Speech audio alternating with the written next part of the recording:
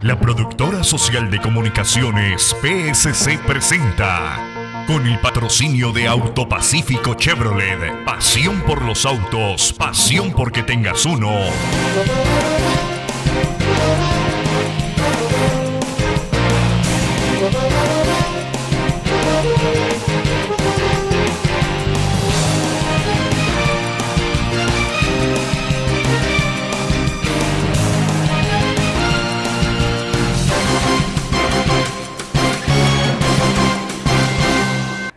Hola, muy buenos días. Buen inicio de sábado y me complace acompañar a todos ustedes televidentes que nos ven en el Valle de Cauca a través del canal 53 de Protelco y en Colombia y el mundo es mucha la sintonía que tenemos a través de nuestra página web. Saludamos a todos ellos, están ahí a través de www.psstelevisión.com. A continuación les presentamos las noticias más relevantes de las últimas horas.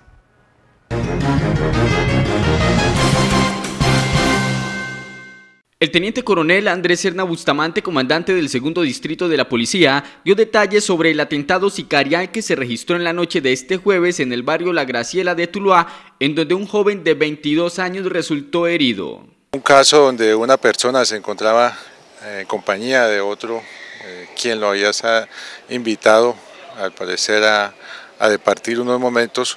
Eh, esta persona que lo invita a salir de su casa y con quien se encontraba, al parecer desenfunda un arma de fuego y la acciona en contra de la humanidad de Carlos Andrés Guzmán, un joven de 22 años, quien es inmediatamente remitido a la clínica San Francisco y allí, gracias a la acción oportuna de los médicos, se le atiende y logra salvarse esta vida. En este momento se encuentra en estado de recuperación en este centro hospitalario.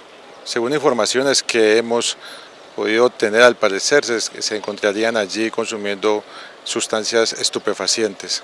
El oficial también amplió detalles sobre el hecho que ocurrió en la tarde de este miércoles en el barrio La Trinidad, en donde sicarios dejaron como saldo a una persona muerta y a dos heridas.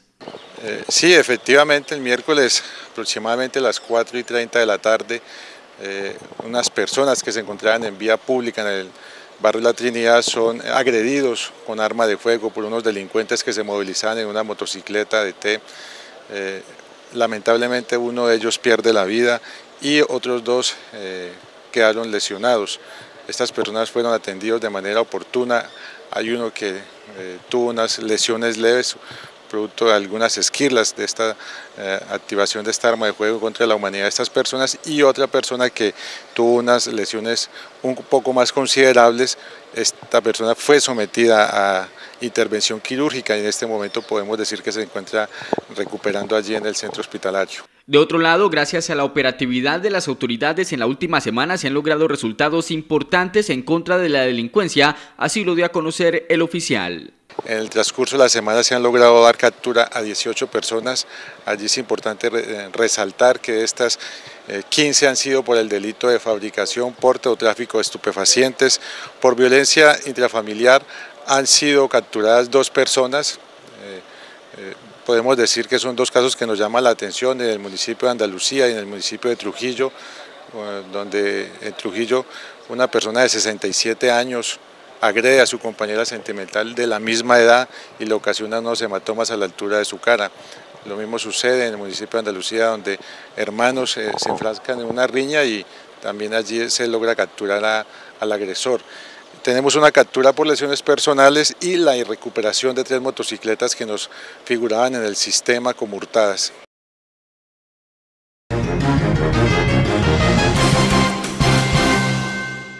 El paro armado adelantado por la banda criminal conocida como Clan Usuga dejó entre sus consecuencias más graves la muerte de un capitán del ejército en Turbo, Antioquia, un patrullero de la policía en Quibdó, Chocó y dos uniformados más en Puerto Berrío en el Magdalena Medio.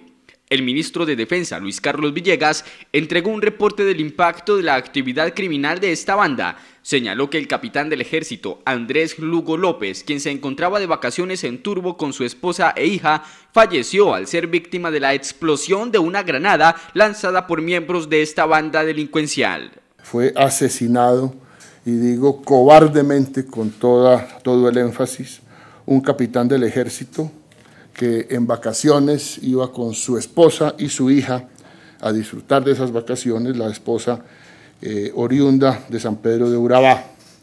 Ese capitán de civil, desarmado, con una granada fue asesinado y la esposa en el hospital de apartado se ha reportado que perderá una de sus piernas. La hija, afortunadamente, parece estar fuera de peligro. Andrés Lugo López, capitán del ejército, natural de Roldanillo, Valle, repito, estaba de civil, desarmado y en vacaciones autorizadas. En Turbo también se presentó el hostigamiento de esta banda contra un grupo de la policía de carreteras. Además, la policía fue víctima de otros ataques de los Usuga en otros municipios. En Quibdó, el patrullero Denson Rentería Montero, quien vestía de civil, fue asesinado cuando iba a cumplir una cita médica. Un eh, patrullero de civil, de la policía, que iba rumbo a una cita médica, fue asesinado por el clan Usuga entre Quibdó y Pepe. De otro lado, dos miembros de la policía murieron y cuatro más resultaron heridos en ataques ocurridos hacia las 9 de la noche de este jueves en la Vía al Mar, municipio de Buriticá, y en Puerto Berrío, Magdalena Medio. En el sitio El Pinguro fueron atacados desde las montañas con tiros de fusil y granadas de fragmentación varios agentes que tenían montado un puesto de control. Resultaron cuatro uniformados heridos dos patrulleros y dos subintendentes que fueron trasladados al Hospital Santa Fe de Antioquia. Uno de los policías se encuentra herido de consideración por impactos de bala en la espalda. Casi simultáneamente, en la vía al barrio El Oasis de Puerto Berrío, desconocidos dispararon contra dos policías que iban en una motocicleta de la institución. Los uniformados fueron llevados heridos al hospital La Cruz de esa población del Magdalena Medio, donde posteriormente fallecieron. Se trataba de los patrulleros Jefferson Vargas Ariza y Henry Mauricio Nieto Ochoa. Por el hecho de que el clan Úsuga haya mostrado sus colmillos hoy, denotan por supuesto la cobardía de esta organización criminal, su debilidad sin duda, y el estado de arrinconamiento en el que está hoy. Otro de los hechos que sacudieron a Antioquia ocurrió hacia las 5 de la tarde de este jueves cuando en la vía Tarso Pueblo Rico, en el suroeste del departamento, presuntos miembros gaitanistas quemaron un bus de la flota Jericó. La situación fue confirmada por el alcalde de Tarso, Néstor Romero, quien agregó que la población está atemorizada. El paro armado de los Usuga finalizaría este viernes y conmemora el asesinato de su líder José Francisco Morelos, alias Negro Charley, el 24 de abril del 2014.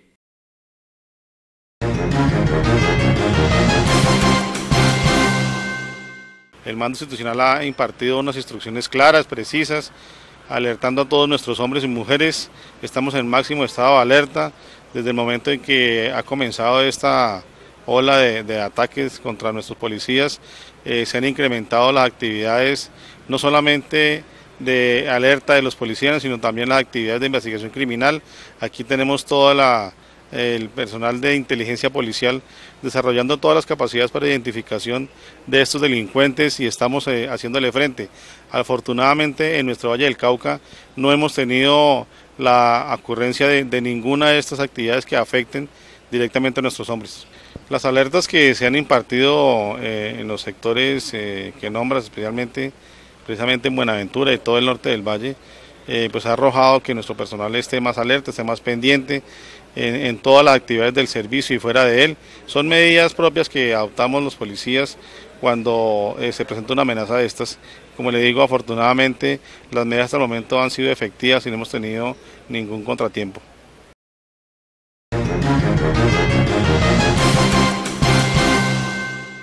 En desarrollo de la Estrategia Integral de Convivencia y Seguridad Ciudadana, unidades adscritas a la Seccional de Investigación Criminal y Seccional de Inteligencia Policial logran propinar contundentes golpes contra las bandas delincuenciales dedicadas al homicidio y delitos conexos en el puerto de Buenaventura, capturando a alias Pineda, cabecilla de la banda delincuencial local Reducto del Clan Úsuga. Eh, se capturó al máximo cabecilla de la banda local, ex integrante del Clan Úsuga, alias Pineda, esto eh, comporta ya el, culmen de una operación importante que se realizó contra esta banda local.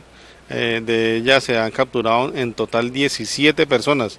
En esta última operación se capturaron 7 delincuentes en el mes de febrero y el cabecilla que fue capturado eh, el día de ayer en el municipio de Buenaventura. Esta banda local y específicamente este delincuente está inmerso en, al menos 10 investigaciones penales, cuatro de ellas por el delito de homicidio en la modalidad de desmembramiento. Este es un importante golpe debido a, las capacidades delincuenciales que tenía este grupo y, el golpe que se le ha asestado con esta captura de ese máximo cabecilla. La Policía Nacional ha estado desarrollando eh, una serie de, actividades operativas a través de la investigación judicial. Se han realizado, tan pronto se detectan reductos de estos clanes en algunos municipios, eh, se realizan actividades operativas con la Policía de Investigación Criminal a través especialmente de la vigilancia electrónica y de la gente encubierto. Son modalidades que han resultado eh, altamente efectivas. El capturado fue dejado a disposición de la autoridad competente por los delitos de concierto para delinquir agravado con fines de homicidio agravado, desaparición forzada y extorsión.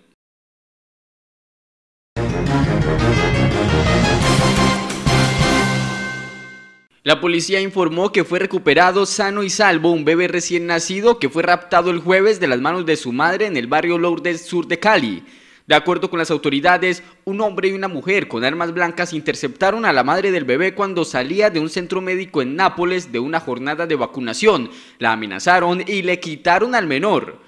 Sin embargo, luego de que la policía, junto a la Fuerza Antisecuestro Gaula, activara un plan candado con el fin de dar con los responsables del rapto, una mujer fue capturada con el bebé en inmediaciones del mismo barrio. La detenida, que fue identificada por una persona quien informó a las autoridades, será judicializada por el delito de secuestro simple agravado, mientras que el hombre se encuentra prófugo.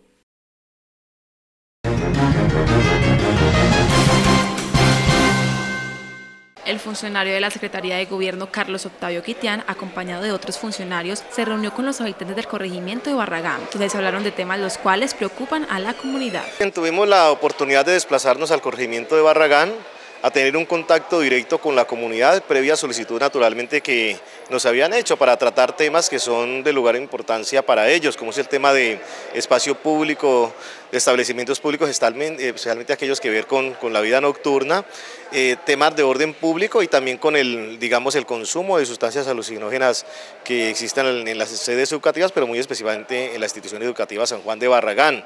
Los habitantes de este corregimiento estuvieron atentos y participaron activamente de esta invitación que realizó el secretario de Gobierno. Se genera confianza, se genera una percepción de institucionalidad y precisamente nosotros encontramos tareas muy importantes con el apoyo de la comunidad y especialmente de la fuerza pública. Allí hay que destacar que hay una presencia masiva por parte del Ejército Nacional, del Comando de, Estación, de la Policía Nacional y sobre todo las autoridades civiles. Allí, por ejemplo, el sacerdote es una autoridad para toda la comunidad, el comité cívico, la misma Junta de Acción Comunal que tiene una injerencia muy importante al interior del conglomerado. Eso nos permitió articular unas tareas importantes que sin duda alguna van a, beneficiar a la comunidad porque eh, la idea es trabajar, mm, repito, de manera articulada para que cada una de las alternativas de trabajo eh, se vean en beneficio de cada uno de los habitantes de Barragán. Según el secretario, la población de este sector puede estar tranquila por el acompañamiento que brinda la policía y la administración municipal, y así continuar con la calma que rodea este corregimiento aledaño. ¿Qué nos permitió en este primer acercamiento? Es que no solamente recibimos inquietudes en lo que tiene que ver con gobierno, seguridad y convivencia ciudadana, sino que la comunidad se, eh, se pronunció sobre otros aspectos, como el mejoramiento de la vía eh, carreteable, situaciones de agua potable, incluso reductores de velocidad. Eso todo lo otro lo hemos agendado para de una vez transmitirlo a los funcionarios competentes, para cuando vaya la administración municipal ya no solamente se vaya a escuchar a la comunidad, sino de una vez se planteen las soluciones a las necesidades que nosotros ya traemos como voceros.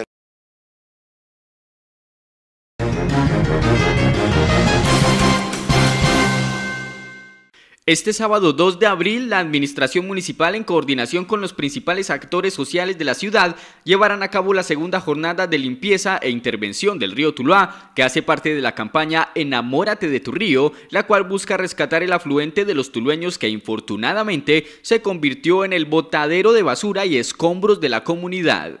Bueno, mañana tenemos eh, la segunda intervención y limpieza al río Tuluá. Vamos a trabajar en el tramo número 2, que está comprendido desde el Puente Negro hasta el Puente de los Gatos.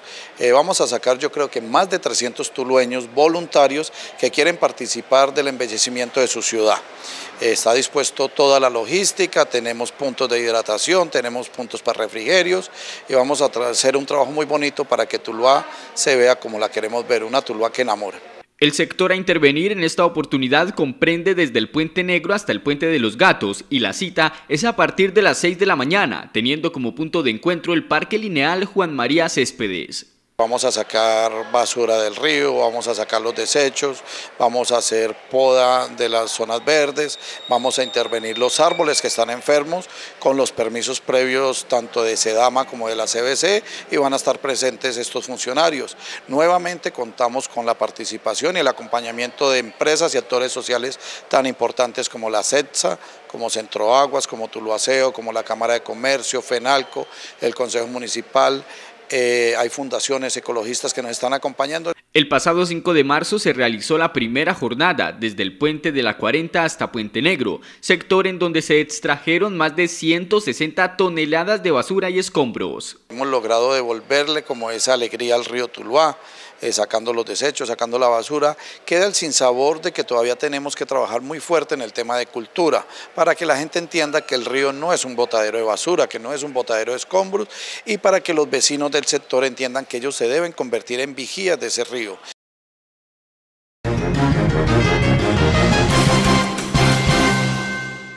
La nueva ley del deporte se radicó ante el Congreso y busca la actualización de la legislación en materia de recreación, la actividad física, el deporte formativo y social comunitario para que marchen en armonía con los lineamientos internacionales.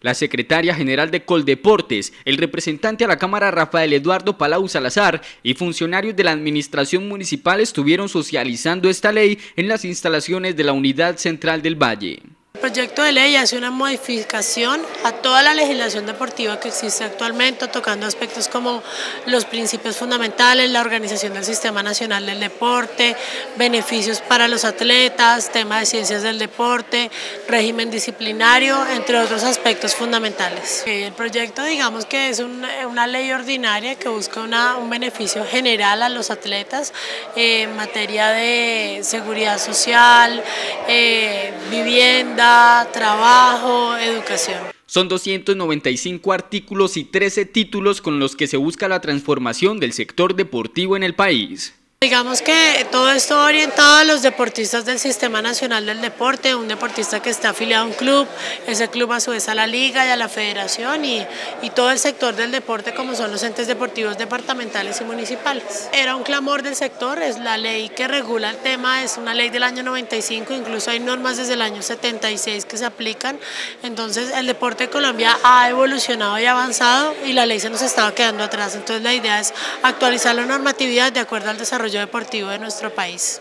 Los objetivos generales de la presente ley son los de garantizar la promoción, la participación y el fortalecimiento de la práctica del deporte, la recreación y la actividad física que estimule el desarrollo humano, la salud, la sana convivencia, el respeto por la diferencia en condiciones de igualdad como instrumento de desarrollo y paz. Eh, tener un sistema de seguridad social eh, en el cual Coldeportes puede ejercer como entidad de vigilancia y control, tener mecanismos de priorización a la hora de acceder a los eh, programas de vivienda, eh, la posibilidad de acudir al Fondo de Solidaridad cuando de seguridad pensional se trata, la posibilidad de acceder a las entidades educativas del orden público nacional, porque se tenga un sistema de información a la, cual se puedan acceder y, y de alguna manera hacer justicia. Eh, la posibilidad de tener estímulos a los deportistas destacados, la posibilidad de tener cómo atender a los deportistas a las viejas glorias deportivas.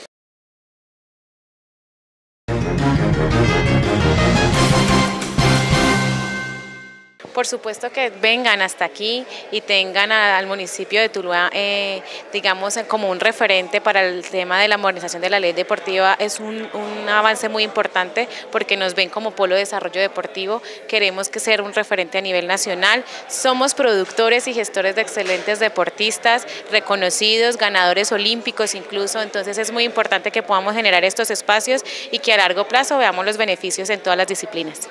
Las estampillas es una propuesta que ellos traen para que aquellos municipios que no la tengan puedan incluirlas dentro de sus finanzas internas para poder acompañar de alguna forma a todo el tema del deporte y la recreación y que no quede simplemente libre a decisión, digamos, de un tema administrativo, sino que ya tengan un sustento económico.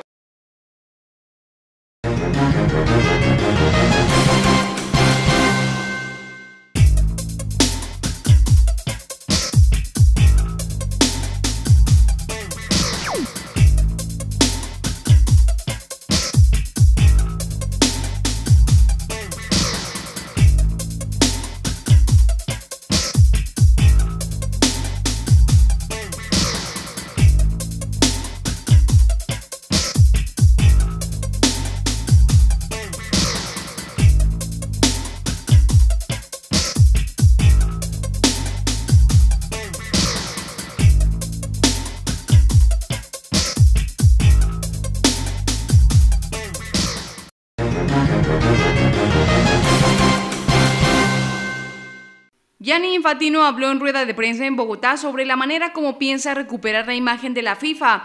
Aseguró que durante su gestión en la entidad máxima del fútbol mundial se enfocará en el futuro para no volver a dejar espacio a la corrupción.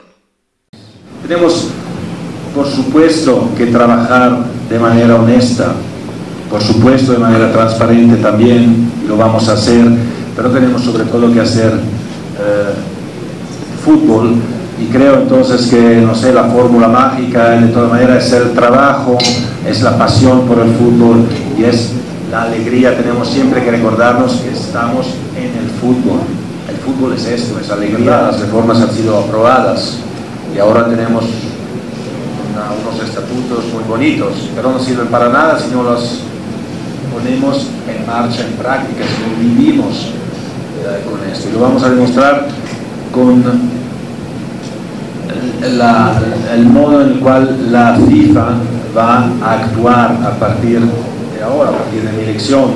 Vamos a hablar mucho más de fútbol, hacer mucho más fútbol, hacer mucho más desarrollo de fútbol. La FIFA no tiene que salvar el mundo, la FIFA tiene que organizar fútbol, que dar un poquito de alegría, un poquito de pasión a la gente, eso es nuestro papel. Nada menos, pero nada más.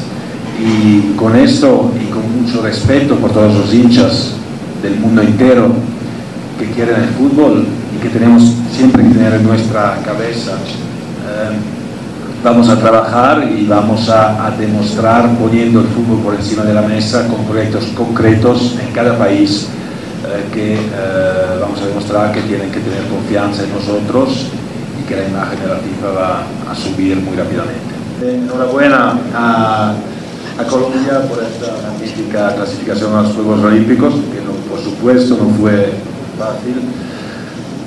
Enhorabuena también por los seis puntos, claramente. Es un momento feliz, creo, por el, el fútbol colombiano. Va a ser mi primer mundial como presidente de la FIFA, eh, el primer mundial de, de, futsal como presidente de la FIFA, entonces la responsabilidad muy grande y quiere ser el mejor mundial de la historia de los mundiales de futsal. ¿Eh? Solo un poquito de presión, poquito. Bien recibido. Bien. Vamos a ver, uh, vamos a celebrar aquí la fiesta del futsal mundial, una página importante en la historia de la FIFA, en la historia de la Federación Colombiana de Fútbol y vamos a dar una gran visibilidad no solo al futsal, sino también a toda Colombia.